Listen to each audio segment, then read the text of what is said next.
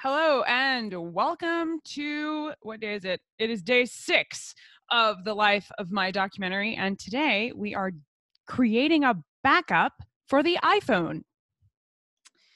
My phone is trying very hard to thwart me at every turn. You see, I should have updated the software on my phone because you know the phone is now a computer instead of a phone and so if you don't update the software the phone freaks out and goes i can't function anymore which makes it really hard to film things with the phone when it doesn't function anymore.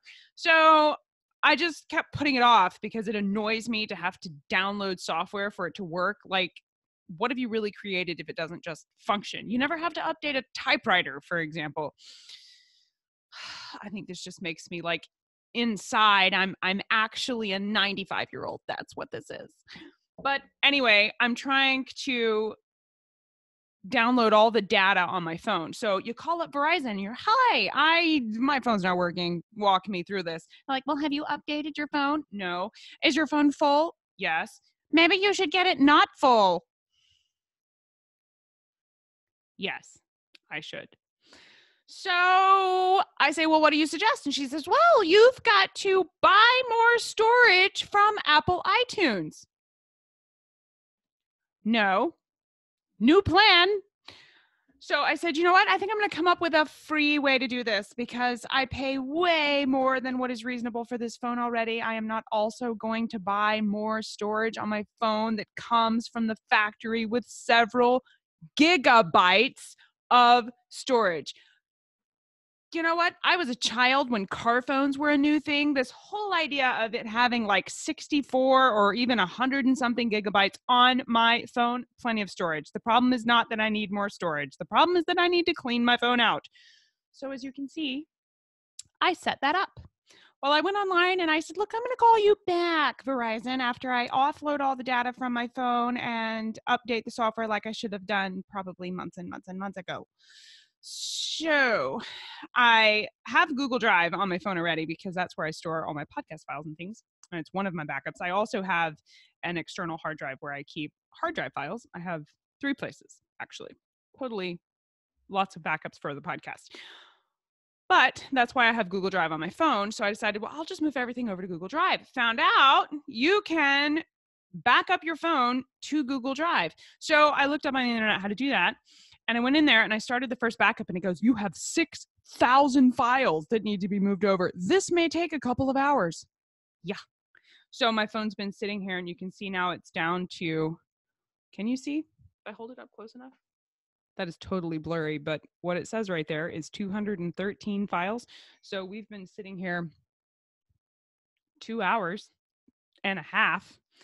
Um, this downloading it, but we're down to the last 200. And so then I've got to check and make sure that all those files actually are on Google Drive. And then I'm going to delete them off of my phone and hopefully have enough room on the phone to update the software, which means then I can use the camera on my phone again, which I haven't been able to do because I don't have storage space and I mm-hmm. refuse to buy more storage space on my phone all claims of me being some kind of Luddite or resistant to technological progress, probably all true. That's fine. I'm seriously considering downgrading to like a Nokia because the Nokia just never let me down. Anyway, that's one thing that I'm doing. The other thing that I'm doing today, aside from freeing my phone from storage bondage, is I am finalizing episodes for the podcast. I got some back from my editor today, and we're listening to those, making sure they sound uh, the way I want them to before they go out on the on the airwaves. And then I am also typing and uploading waivers for the documentary film into DocuSign. DocuSign is the software I use to send guest waivers to my um, podcast, and I am using my podcast guests rather i should say my sentences completely because you're not in my thoughts. You can't hear them if I don't say them out loud. So, anyway, I'm typing those up for the documentary film. I am using templates I have found from, um, I follow Hollywood Gatekeepers and I also follow Jason Brubaker pretty closely. And I follow, there's a new one that I just started following. Anyway, there's a lot of documentary filmmaking resources available online. I'm signing up for the master class for example, from Ken Burns. He has a master's class on documentary filmmaking that you can buy. It's $99 per class, or you can pay $99 for a membership to masterclass and you can watch anything that's there. So I'm signing up for masterclass and I'm going to take filmmaking classes on there from Ken Burns. I think Ron Howard has a filmmaking one on there. I'm going to watch basically all of those and take copious amounts of notes and then apply that to making my uh, documentary film. So that's that's also on the docket for today. But anyway, DocuSign lets you you have to type it up on Google Drive or in Microsoft Word and, and create the waiver how you want it to look. And you have to go ahead and insert the lines and everything. But then once you get it ready and it says everything you want it to say, you can import it into DocuSign and DocuSign lets it lets you send it out to the people that need to sign it and they can digitally sign it, which works out great when you're interviewing people over Zoom in another country.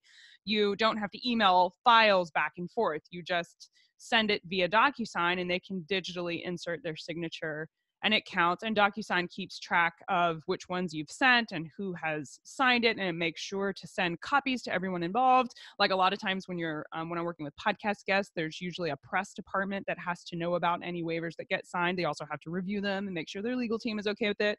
So you can do that kind of thing through DocuSign. You can send the press department gets their copy, the legal department gets their copy, and then the person who actually needs to sign it gets their copy. And whenever they sign it, you get a signed copy. Now, I usually download and print me a hard copy of this. So I have files here in my office where I have a print copy, I keep a digital copy on my computer and in my Google Drive. That's overkill on the copies. I just paranoid about legal stuff. So I like to make sure that I keep everything documented that I've done. So if anybody does ask me, I can go back and find it and show it to them. Um, and that's kind of how we run things around here. But so getting DocuSign set up, I have, I'm working on writing the waivers and I'm using templates from the documentary filmmakers that I am following, the ones that they use. It's similar to the ones that you if you've ever been an extra on a film when you show up and you get the paper from the production assistant that says you have to sign this before you can cross this line and you know don't step on set until you have signed this.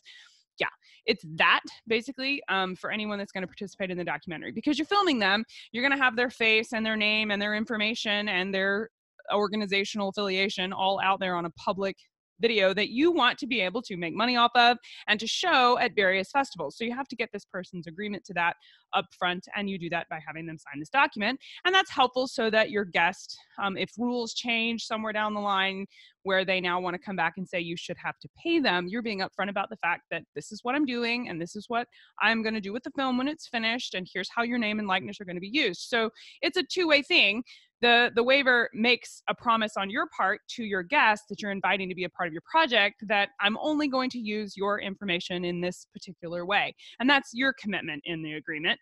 The person participating and and sharing this interview with you they're agreeing to give you permission to use their image and information in these ways that you've outlined so it's a it's a partnership and that's what the waiver is about and i'm typing those up putting them into docusign docusign is how i'm going to send them to my documentary guests. And as soon as I get them loaded into DocuSign, I'm going to start sending pitch emails. But that is the summary for day six emptying the iPhone, freeing up the equipment, and writing templates. So that's it for today. I'll see you guys tomorrow.